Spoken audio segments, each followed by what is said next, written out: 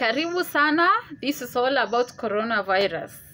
Coronavirus disease is an infectious disease caused by a newly discovered coronavirus. Most people who fall sick with COVID 19 will experience mild to moderate symptoms and recover without special treatment. The virus that causes COVID 19 is mainly transmitted through droplets generated when an infectious person coughs, sneezes, or exhales. These droplets are too heavy to hang in the air and quickly fall on floors or surfaces. You can be infected by breathing in the virus if you are close to someone who is infected with coronavirus or by touching a contaminated surface, your eyes, nose, or mouth. Let's take care of ourselves. Let's wear our masks well. Let's use our sanitizers well.